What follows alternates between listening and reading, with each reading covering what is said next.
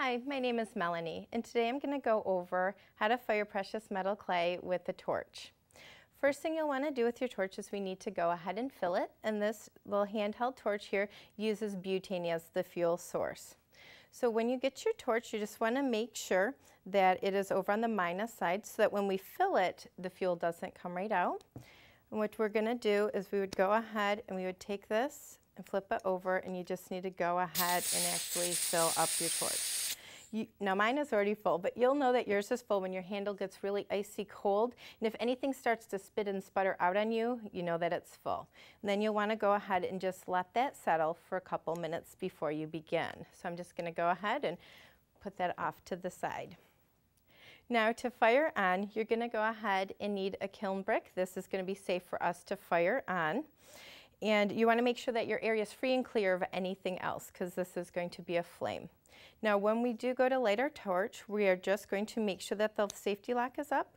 We're going to flip it over to the plus side and that is going to go ahead and it will have the flow of gas come out. Then we're going to push the ignition button with our thumb and this is going to spark it for us. Okay, and then we will go ahead and we will start to fire our clay piece. Now we do want to go ahead and always fire in a dark room. And the reason for that is that we will know when to start timing our piece when we're firing it by the color that it is glowing.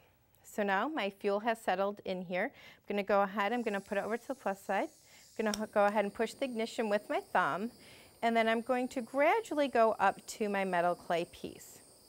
Now it is going to start to smoke and then it will actually catch on fire. This is good. We're burning away all the organic binder and then we'll get it hot enough so that those pieces of silver can actually center together. And because this is catching on fire, you want to make sure that your piece is totally dry before you torch fire. Otherwise, that moisture will turn to steam and that will wreck your piece. So you always want to make sure that you fire a dry piece. I'm going to go ahead, keep doing this. And now my project will start to glow.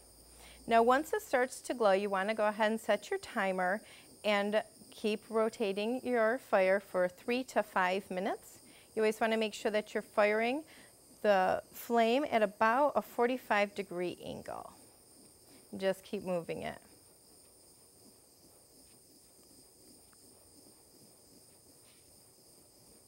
Now, if during the firing process, if you get too deep of a red color, you could actually start to pit the surface of your silver piece. If you start, start to see pretty shiny silver, you're actually starting to melt it. And then after three to five minutes, you'll go ahead and you will just simply turn off your torch by shutting off the fuel source and then putting down the safety lock.